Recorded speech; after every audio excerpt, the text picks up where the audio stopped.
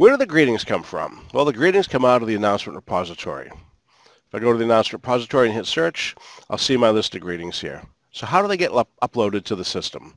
Well, you have a greeting on your system as a WAV file. You can click add, and then you can browse for that file. And if I browse around for some files here, I can pick the option I want, and I can upload that.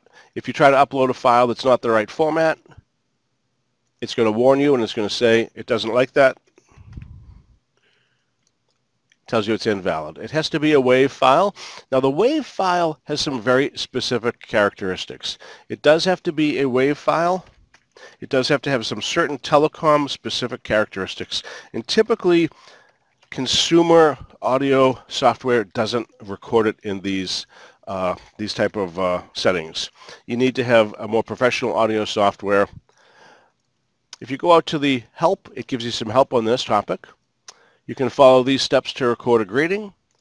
You can also use a pre-recorded WAV file if it meets the specs. And if I take a look at the specs here, the specs are 8-bit 8K mono, u-law encoding. It needs also G711 codec, which u-law and G711 tend to run together, and a maximum file size of 4.7 megs. Now, your software might not do this. So we recommend a program called Audacity, and you can download a free version of Audacity. I have instructions I can give you, and there's online resources that can uh, help you out with Audacity to convert the file to this format here. Or you can use your telephone to record the file. And the way we do that, we record a file from the phone. You want to make sure that at the beginning you are receiving voicemail as email, as we spoke about in the user settings you want to have your auto attendant script ready. You put your phone on to do not disturb and then you go somewhere quiet so you can call into your phone. You call into your phone from that quiet place. Call into your extension and let go to voicemail.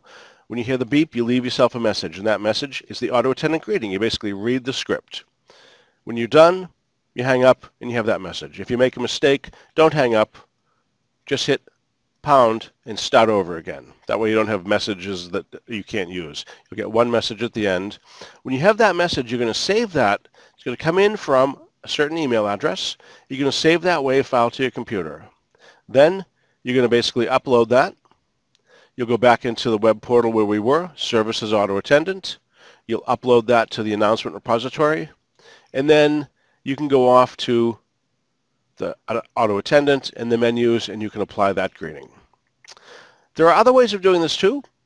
Uh, there's information available on the web here for how to call into the voice portal and record it. If you had to do it really quick and you were unable to uh, go through these steps, you could always call directly into the back door to the system, call into the voice portal, record an auto attendant greeting there, and it gets placed in immediately.